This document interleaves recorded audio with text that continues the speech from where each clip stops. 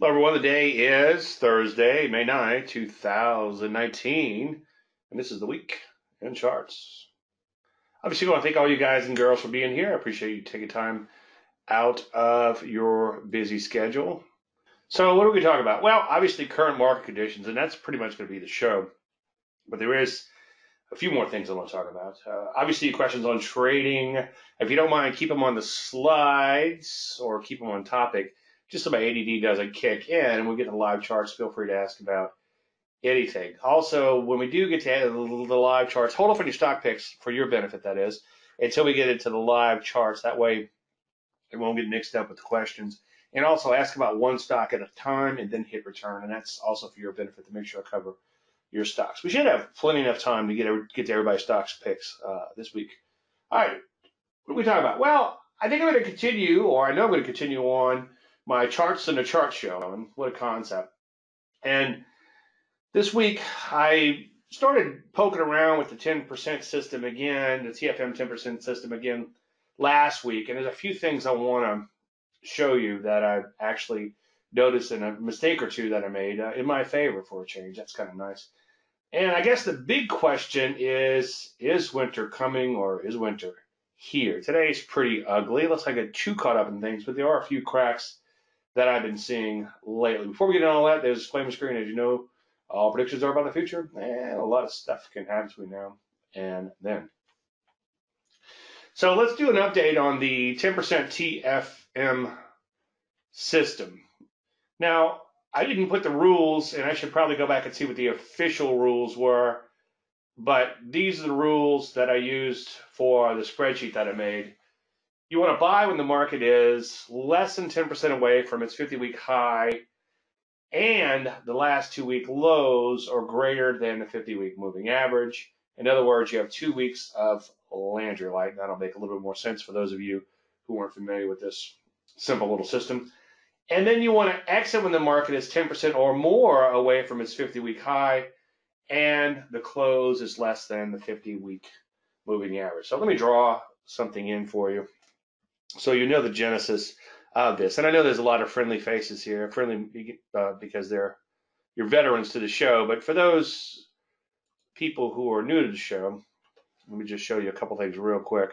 Here's the, the genesis of it. Here's my thinking on the whole system. The basis of technical analysis is if a market is going to go from A to C and B is somewhere in between, it's going to have to pass through B along the way. Now, I actually have a little IPO pattern that does just that, buys at B. As a general rule, in stocks in general, I don't think it's a good idea to buy at B, but if you have some sort of setup, then by all means. And it's much better than trying to catch a bottom.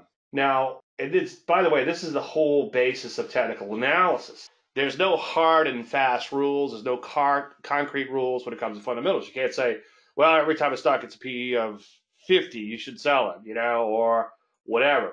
But if you could say, look at the charts and say, well, the market has to go through B.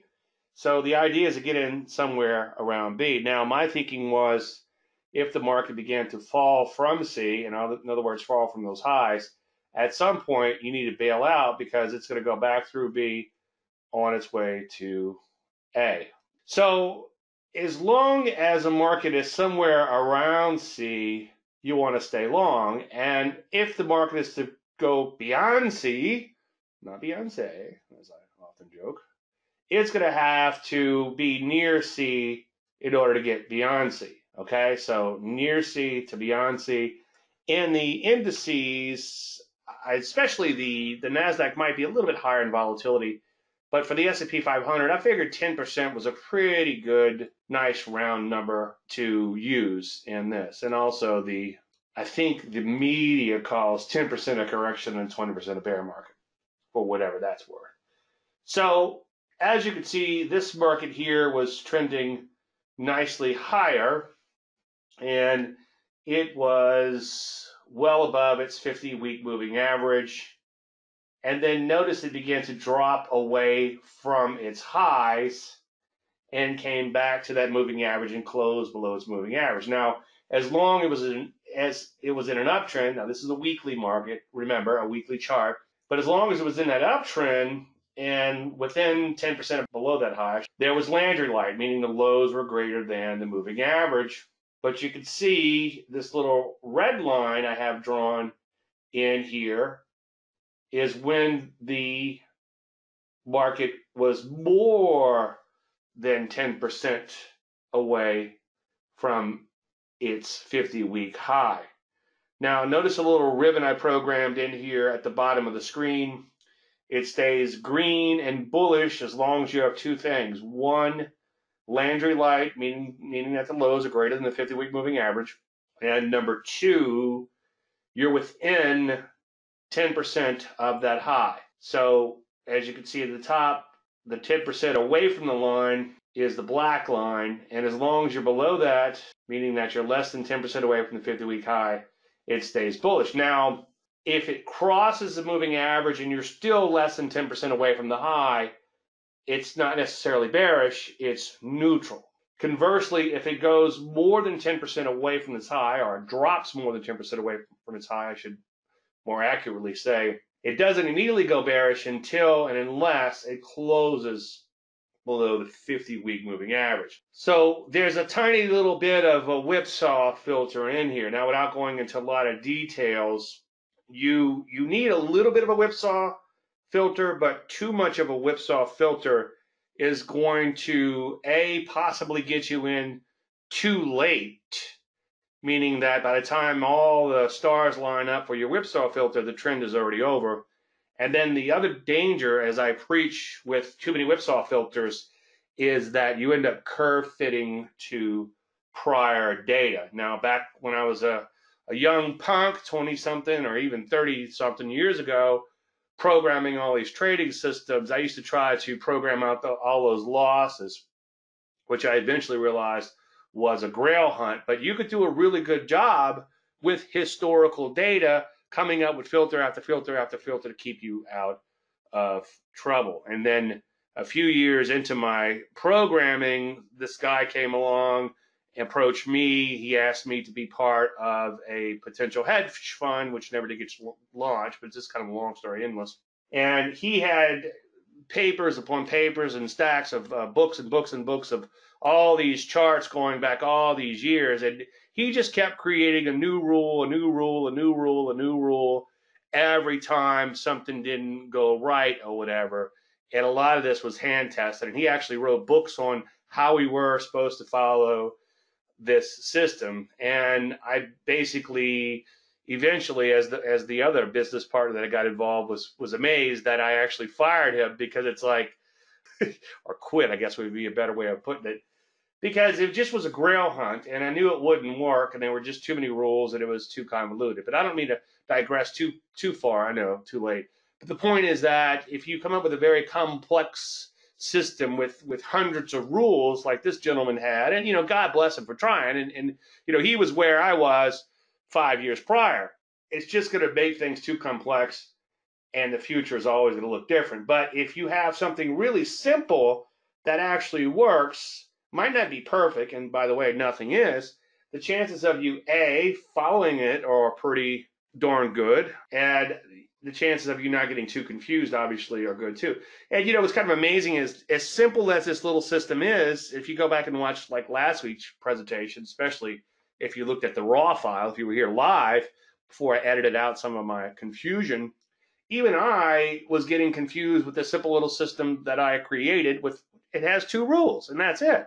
So the one thing good about this, this particular system using Metastock, which by the way, I'm an affiliate for, if you go to the Getting Started in Trading on my website, new trading button, you can get all the links and all from Metastock and Telechart and every, all the other tools that I use. And one day, like I hinted last week, I'm going to probably do like a tools of the trade type of presentation. So anyway, the system again, you would get out of the market. Now, for this particular system, I really wasn't interested in creating a stop and reverse system, although if you wanted to, it could be kind of interesting to noodle with that because in this particular case, the market dropped about 95% after the signal, or at least 90% after the signal. And in case you're wondering, this is S&P And if you look really carefully, you might be able to see this graphic, but it's 1929. Obviously, this was right before the Depression. And you can see again the close was below the 50 week simple moving average. Now, let's take a look at the last exit signal that we had back in November. So, right here, you can see that you're measuring from the close to the close, okay, from there to there is a little bit greater than 10%. Well, obviously from from here to there is about 1% or so. And then one thing I was noticing this morning is that if you don't have anything on the chart, you're at a brand new high. You're closing at a brand new high. So if you go back in time, you can see there's not a whole lot in there. Maybe back here, okay? So way back here to the left of your chart, you close a new high. You don't have anything plotted here because this would be 0% away from a new high. In other words, you're at a new high. If you look down at the ribbon at the bottom of the screen, you can see that it has turned bearish when you were below that 50 week moving average. Notice that it went neutral down here when you were still within 10% of those 50 week closing highs, okay?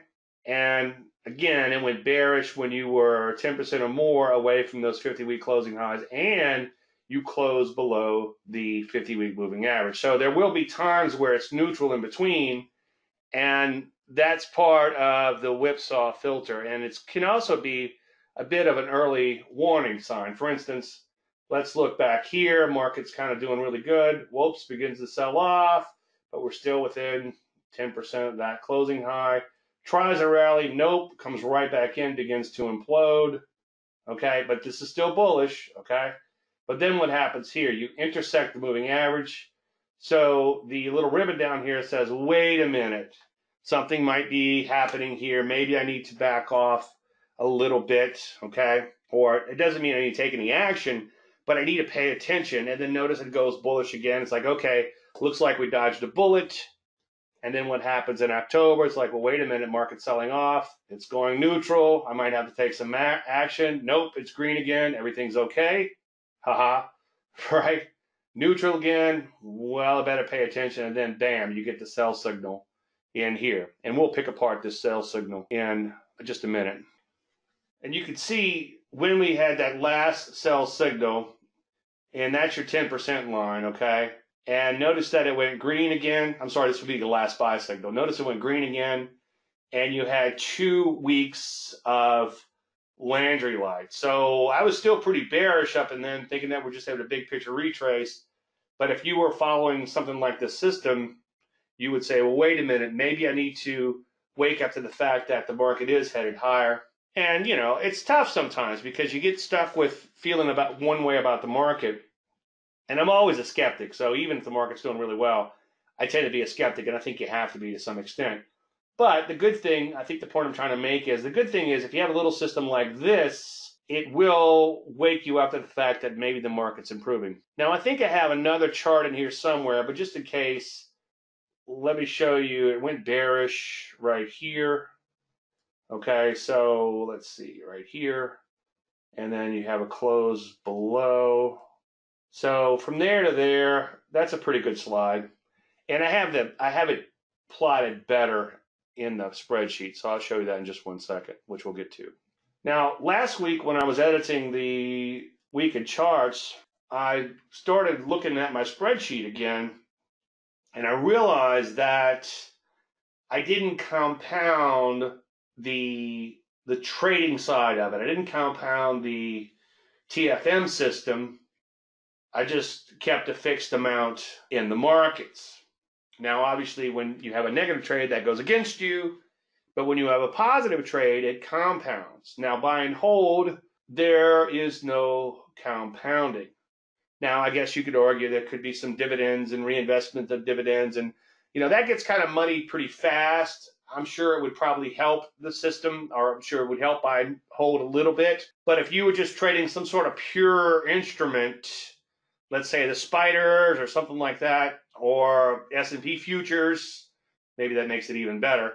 because you're not looking at the dividends and things like that, then it would be a little bit more apples to apples. But I wouldn't get too caught up in that. I just want to throw that out that it does get a little muddy when you factor those type of things in. You also have to realize that a dividend will decrease the index value and then the only way that dividend pays off is if the index gets back to its pre-dividend level. So again, it gets a little muddy, but if you just kind of bear with me and just stick with the actual numbers, I think it works out fairly well. And I think that it shouldn't be picked apart too much. Now, last week, I was surprised that buy and hold won. But once I put that compounding in, I realized that buy and hold did not win. And the number's a little bit worse than it was last week because we had a little bit of a slide since then. But as of last night's close, and this green means this trade is still on, if you were following the system, and you'd be up about 3%. But your buy and hold for that period of time was 936%, and the TFM was 964%. Now, I'm not trying to blow you away by that 30% difference. Actually, it's 30%, but it's only what? It's probably less than 10% better. The point is that even though the TFM system didn't win by much, I mean, you would have some commissions and slippage in there, okay? But it's only 10 trades, which I'll pick apart in just one second. I think the main thing to glean here is that you would avoid several diaper change moments. A 40 something to 50 something percent drop, and I haven't done the testing on the NASDAQ, but remember, folks, the NASDAQ dropped 70 something percent in 2000. And I guarantee you that it dropped 10% first before it did that. And I guarantee you that it closed below its 50 week moving average before a lot of that drop. And I'd be willing to stick my neck out and say that something as simple as this would have gotten you, kept you out of a lot of trouble. Now, the rest of the drawdowns aren't that huge for the buy and hold However, 8 to 10% or 11%, that's still substantial. So let's just use 10% because it's a round number. Let's say you've got $500,000 saved up for your retirement and it's in a S&P fund. Well, depends on the period of time, but let's say it's a fairly short period of time, which is very much possible. You lose 10%. Well, now you're down $50,000. Well, go back to last October, you were down $50,000, okay? And you've got to be wondering because it may have taken you years and years and years to make 50,000 if you lose $50,000 in a few weeks or 10% of that account that has to at least if it's not keeping you up at night it's it certainly has you tossing and turning. So i think being able to avoid these steep drawdowns is pretty cool. And notice that you only had these two losing trades and they were only by a little bit okay three and four percent. And I think the one thing to gleam is getting back to the sleeping at night is that it will keep you out of the market for a long time. And again, my goal wasn't to create some sort of stop and reverse system that's always in the market, but rather a market timing system which times your entries and times your exits. And if there's nothing to do, you don't do anything. You wait for that market to catch up to catch back up to its 50 week high. And the reason you don't do all time highs is, is you might give up 100% of that gain going up. But what happens is by waiting for that 50 week high, that's kind of a moving thing because next week it's going to be the high that's 49 weeks from this week. So that high might be dropping and dropping and dropping and dropping. And eventually, when the market turns, it'll catch up. Obviously, there'll be some lag in it, but eventually it will catch up. There's lag in everything, obviously. But 6.31 years, in other words, you're out of the market 20% of the time over 30 years and change, isn't too bad. So being out of the market for six years, I think is a great thing. Okay. Just because I'm a trader doesn't mean I have to be in and out, in and out, in and out, in and out. Although lately it seems like I've been a little bit like that too much with these ogres. But we might I might be able to touch upon that in one second.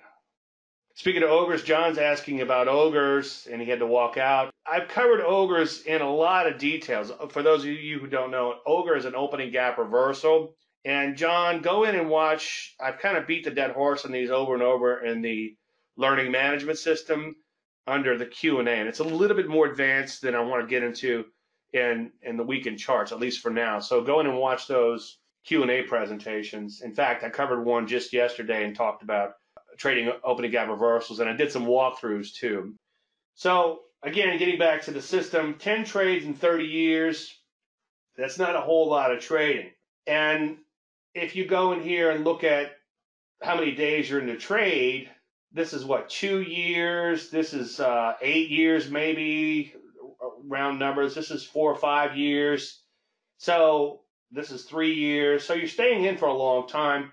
And your last trade, you'd be in for 69 days. Obviously, you'd have been in since March 1st. You would have gotten your next buy signal with this particular system. And this is what it looks like longer term. You can see that right before the last two major bear markets, you had a sell signal. This last one obviously didn't turn into a bear market, but the market did have a significant drop from then. I was looking at that right before it went live. I forget how much that drop was, but it was it was a pretty big drop. In fact, with that being in the spreadsheet, I think that was in the spreadsheet, like eight percent or so. So enough to make a difference. Now, if you squint your eyes, you could see you did have a sell signal like right here, and it didn't turn into the mother of all downtrends, but you did avoid a pretty big slide in here. And if you go back to that spreadsheet, if you're watching on YouTube, just rewind it and you could see what that low of that move was and how much of that slide you avoided. And I think I said on the other slide too, other than fear of missing out during those six years where you're out of the market, there's, to me, it seems like some sort of market timing would help you sleep a little bit better. Now, some random thoughts. Some of these are left over from last week, but I did want to reiterate them, and I have a few new things I want to say obviously, like death and taxes, some whipsaws cannot be avoided. And again, as I said earlier, don't try to program them all out.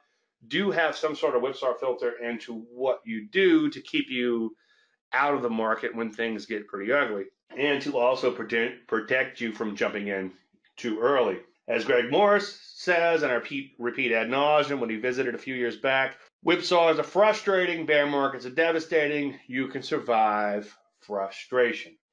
And I think in some of Greg's columns going back over the last year or so, he talked about a couple of whipsaws he was caught in. It happens, you know, pronounced with a silent SH. But, you know, it's nice to be out the market when, let's say, you're down 10% and then it drops another 10%. It's nice to be keeping your head while everybody else is losing theirs. Now, with just 10 trades in 30 years, now I took off the first trade. I didn't count the first trade because buy and hold would also have to make that first trade too. But like I said last week, ain't too bad. I made some very expensive homebrew, which was phenomenal. And one of my friends of a neighbor tasted some and he said, That ain't too bad.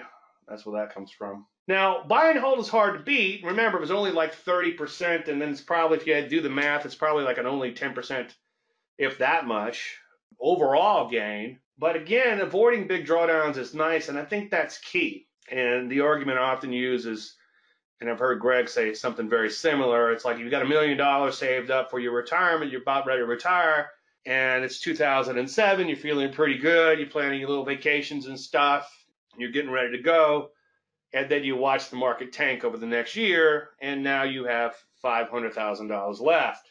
But gee, why not just hold on until it comes back? Well, because it might take 25 years or more to come back. And I've had people look at me like I pooed my pants when I say that. But if you go in and read Layman's, which at this particular point in time, May 9, 2019, I'm giving it away on my website, you'll see that there were quite a few times where it took a long, long, long time for that market to come back. So if you're 65 or 75 years old and you're just getting around to retiring, you know, you might not have that uh, another 25 years. You might have to go back to work for 25 more years. So something to think about. Now, obviously, there's no guarantees, but every big drop has started with a little drop first. Now, the the the hard part is figuring out how much of a little drop do you need before you should GTFO. In other words, before you should get out of the way. Now, for this little system, we just said let's just say 10% because that seems like a meaningful move in something like the S&P 500. Now, I'm not trying to sell you on the system. And by the way, it's an Oprah system. You get a trading system. You get a trading system. You know, this is just some fun little research that I'm doing just to make a point. And that point is simple systems can work and keep you out of a lot of trouble. In fact, they work a lot better than more complex systems. You look at those people out there that are using the more complex stuff. I'm not going to pick on any system, anybody in particular, but I guarantee, I will guarantee you ask 10 people who are using this certain arcane method and you get 10 different responses. Whereas something simple like this, it's either going to be bullish, bearish, or neutral. So again, no guarantees, but every drop, every big drop has started with a small drop. All right, any questions on the simple little system? I know it's just two weeks running in this, but I think it's important, especially given the conditions of the current market. So the question is, is winter coming? Or maybe a more appropriate, is winter here? And Bastard Jon Snow has been warning about winter forever, and then winter finally came. So is winter coming in the market? Well, my quick answer to that is I don't know. But based on this morning's action, things look a little bit worse than they did as of yesterday. Now, this does not have, by the way, this does not have yesterday's data in it, I don't think. And this is a daily S&P chart. What I found interesting, just by complete accident, is that the moving averages have turned down. Now, these are my bow tie moving averages, which are a 10 simple, a 20 exponential, and a 30 exponential. Notice I've blown them up for you here. Now, notice on this particular day, going back a few days, the S&P 500 closed below the 10 period simple moving average. But notice that that moving average is still headed higher, okay? And then also notice on that particular day, the 20 day exponential moving average and 30 day exponential moving average are still headed higher. Now, here's where it gets interesting, and I learned this from Greg Morris. The day, the exact day that the close goes below an exponential moving average is the same day that the exponential moving average will turn down. Now, if you go through the start course, davelandry.com slash members. Just sign up there. Go through the start course. I talk a lot about the nuances of these 30 and 20 day exponential moving averages and exponential moving averages in general and why they are good for longer term market timing or to help keep you on the right side of the market. And that could be stocks or anything else. But anyway, notice that the 10 did eventually catch up and begin to turn down. So that's significant. The reason I like a 10 simple is I like to see a true representation of price over the last two weeks. And then for 20, which is roughly one month worth of trading, and 30, which is roughly six weeks worth of trading, I like the moving average to catch up to price a little bit faster. And by accident, by playing with these moving averages, I discovered the bow tie. And we'll talk a little bit about that in just one second.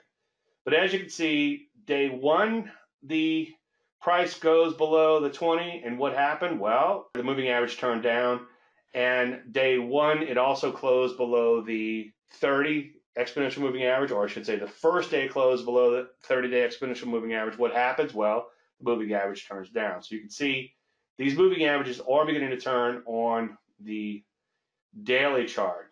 Now what's the significance of that?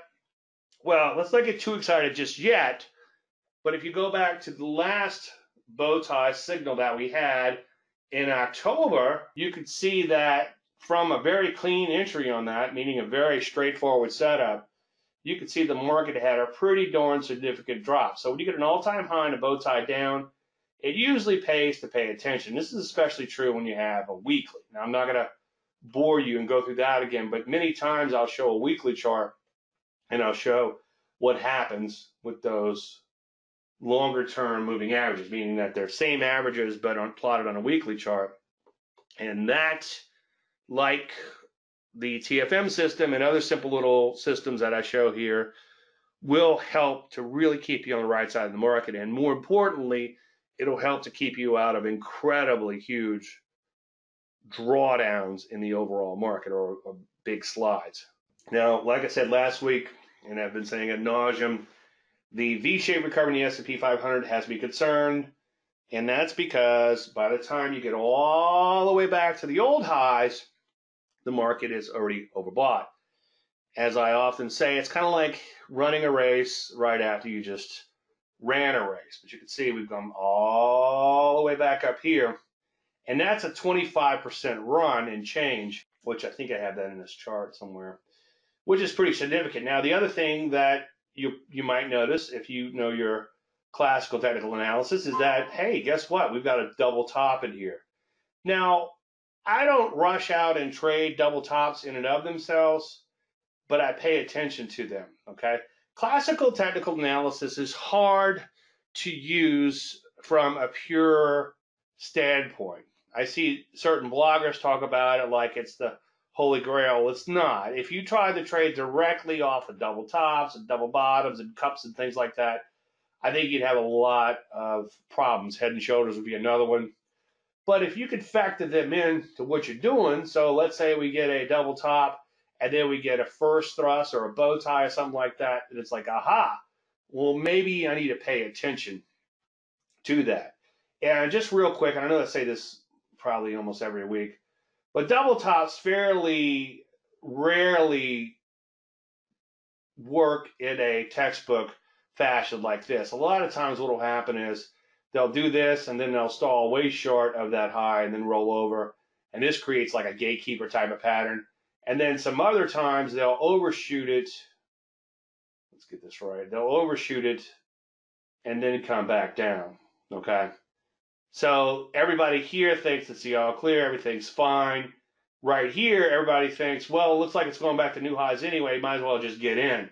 And that's what's happening when it stalls short of the old high. So not as easy as it might look, even in these. I, I, like the old, old books on technical analysis, but even those old, old books make it look a lot easier than it really is. There we go.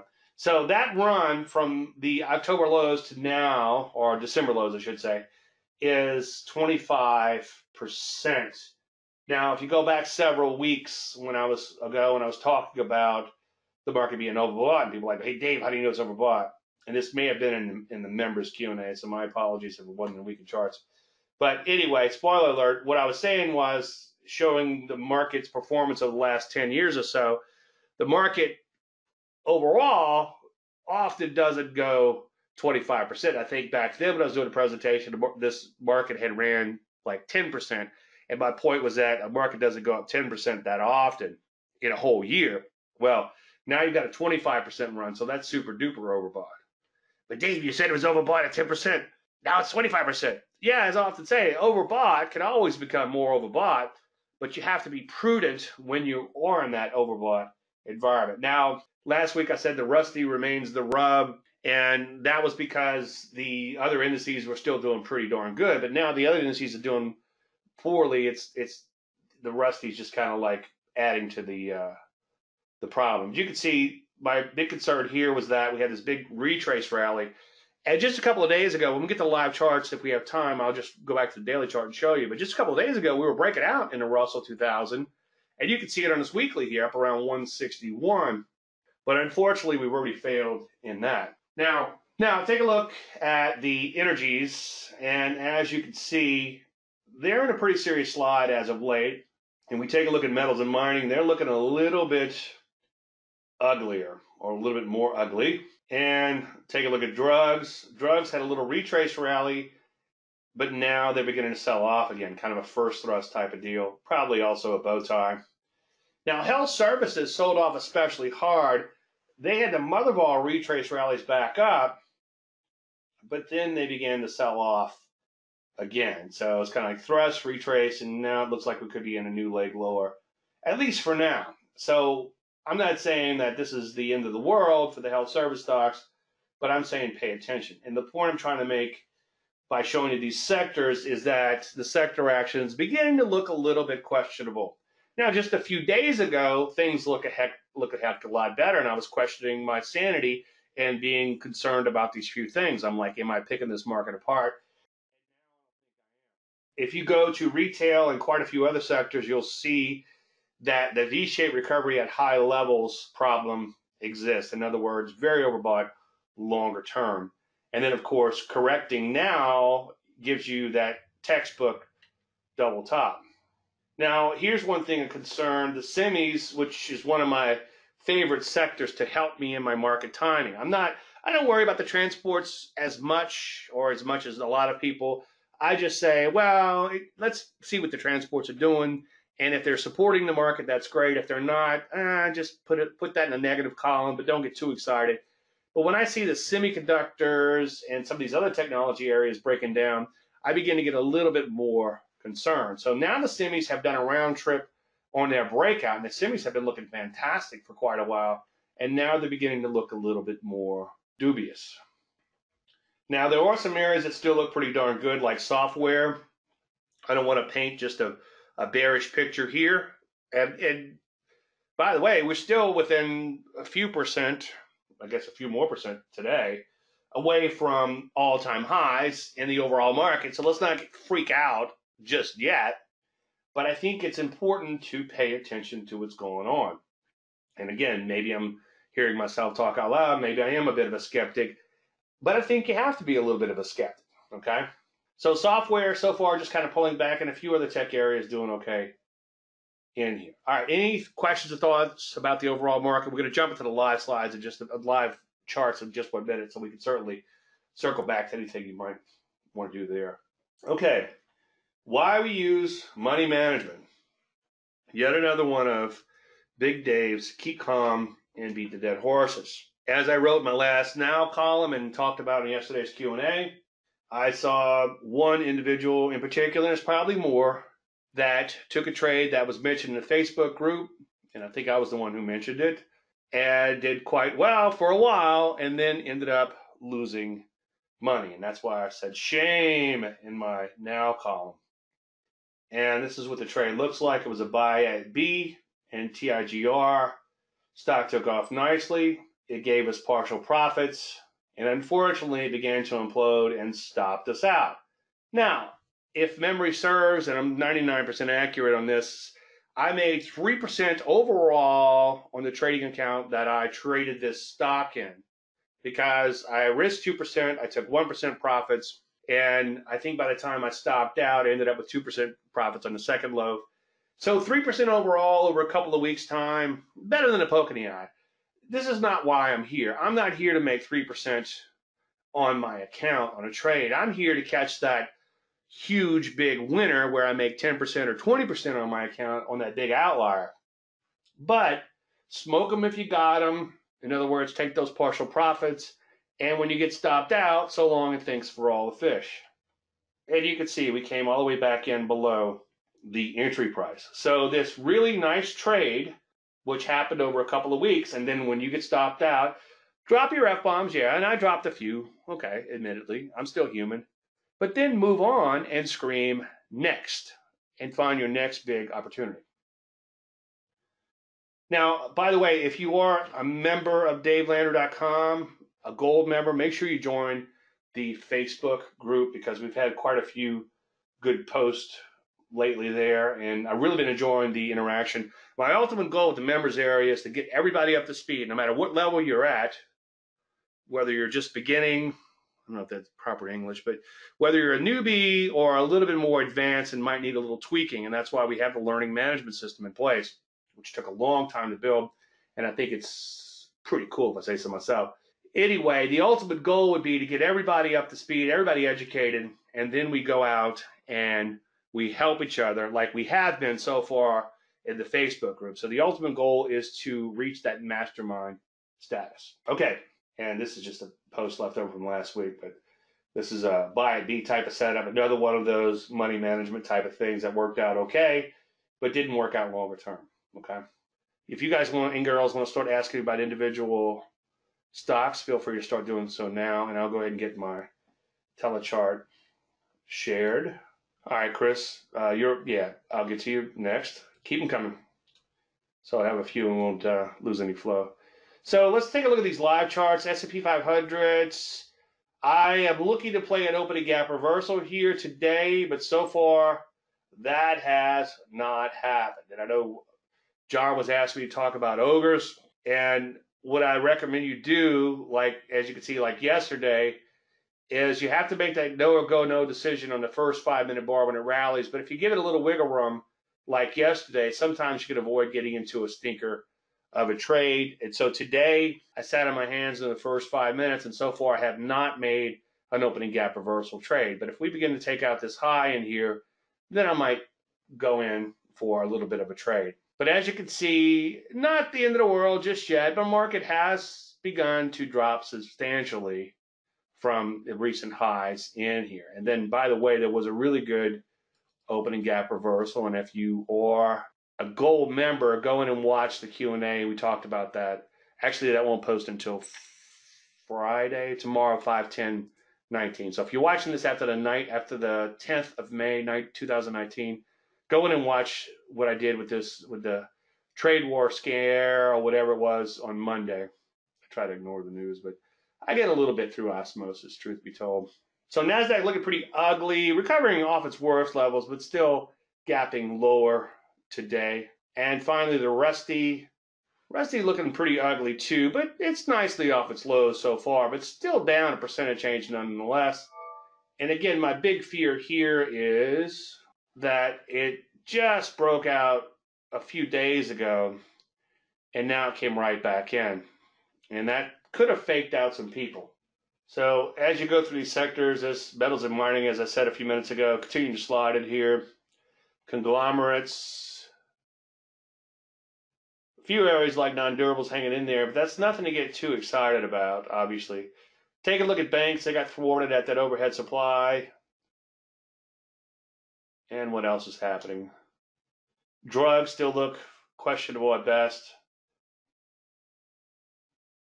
So you can see a lot of sectors still hanging in there. Some like retail making that double top look. And then quite a few have already entered into bona fide slides. Let's take a look at the transports.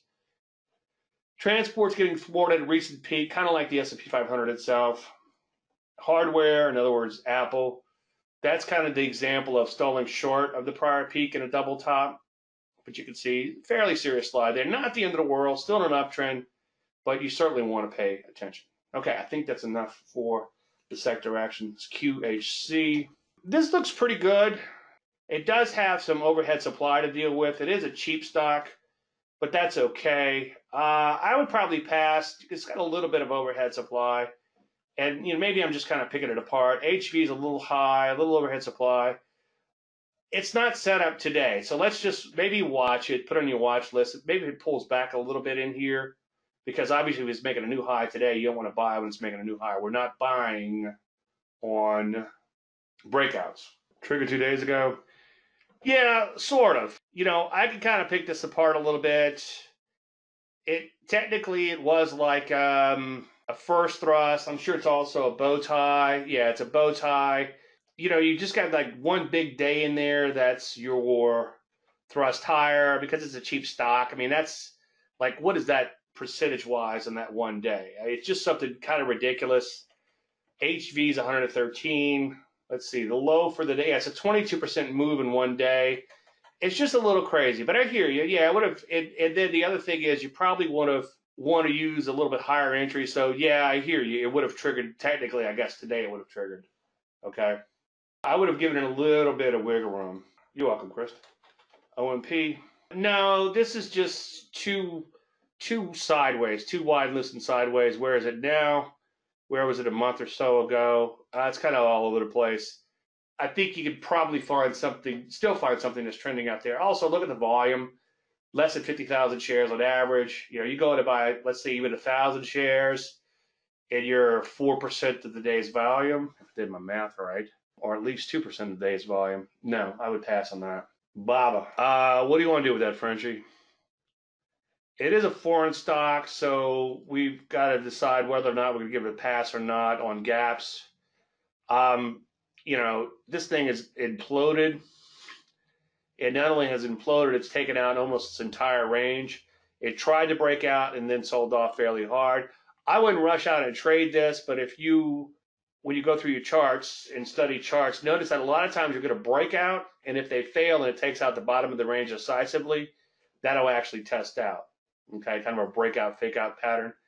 Okay, so in addition to it failing shorter term, longer term, I'm not a big fan of buying these big pullbacks when they're going into their old highs like this. And then also, you could argue that there's just a tremendous amount of overhead supply. So this stock is kind of all over the place.